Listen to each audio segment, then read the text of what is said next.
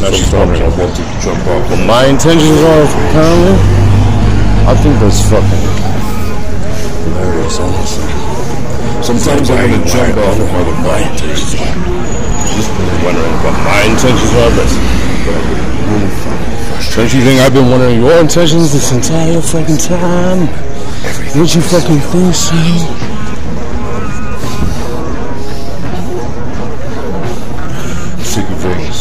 Things must change. Things must fucking change. I'm the only person that ever managed to lose weight on antipsychotic, heavy sedative medicine. medicine that makes you fucking balloon.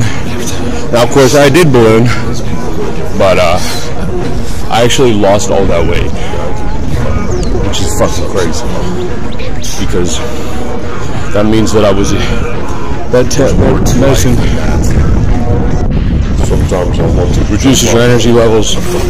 So I was increasing my energies, energy more than they were being reduced by the medicine. So I basically went above and beyond to lose weight while taking that medicine. I don't want to do that. But I get really Antipsychotics do not fucking work on me because I am immune to that fucking bullshit. To that bullshit zombie pill that makes you stupid. sick of things. You think I have fucking time to let my brain wither away? This motherfucking brain is my ass. Out of all the trouble that my ass put my brain in, my brain, my ass gets myself in trouble because I'm an asshole. But my brain thinks of a way to get out of said trouble because I'm a genius. There's more to life. That's how I do it. So Sometimes I want to jump It's actually true.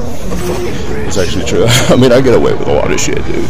Like shit, like running around fucking naked and shit, dude. Like I get around, Sometimes I I get away. It's just my personality. I just have a very welcoming personality. People forgive all my fucking, all my bad behaviors because I'm so goddamn charming.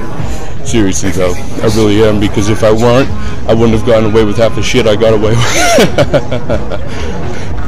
Sick of things. Things must change. Things must fucking change.